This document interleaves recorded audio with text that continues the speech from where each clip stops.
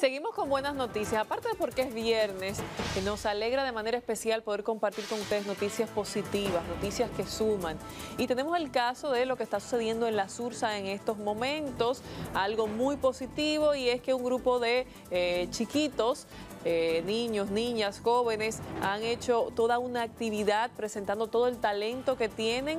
Mi pregunta es si será que todo esto se ha dado en esta época de cese por las vacaciones de verano. Podría ser que sí. Quien nos va a dar todos los detalles es nuestra compañera Lady Pérez, que estuvo más temprano por allí y se vistió de arte, disfrutó con todos ellos y ahora le mostramos.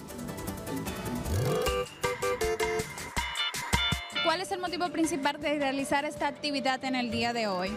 Bueno, esta es una actividad que tenemos ocho años realizándola. Es el Campa Recicla que desarrollamos con niños y niñas de la comunidad de La Sursa. Somos parte, es parte del programa de reciclaje y concientización 3R que tiene nuestra fundación. Durante el periodo de vacaciones nosotros asumimos, principalmente los niños de la Sursa, para enseñarlo a cómo eh, elaborar artesanía con material reciclable. ¿Alrededor de cuántos niños están participando y han realizado manualidades?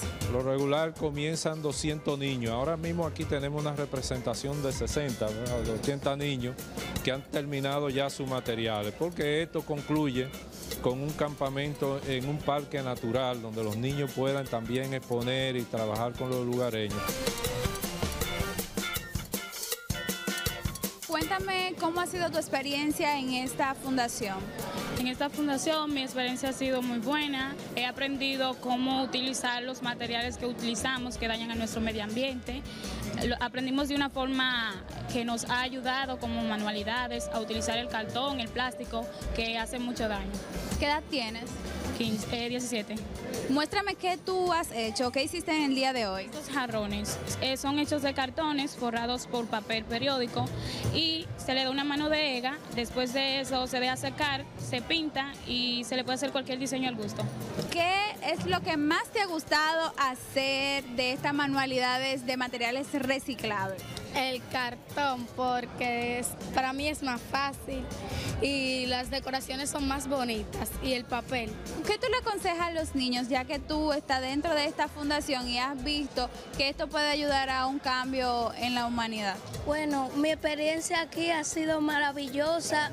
Nos enseñan muchas cosas sobre reciclar y le invito a los jóvenes de hoy en día que estudien mucho y que reciclen para ayudar al planeta que no haya tanta contaminación. ¿Como siempre te ha gustado realizar este tipo de artesanía? Sí, a mí me gusta porque hay cosas que uno tiene en casa que uno la puede botar y uno dice no, uno tiene que primero reciclarla, antes de botarla, uno puede en la, idea de uno puede eh, inventar y hacer cosas, creaciones bien bonitas para poner en la casa de lujo.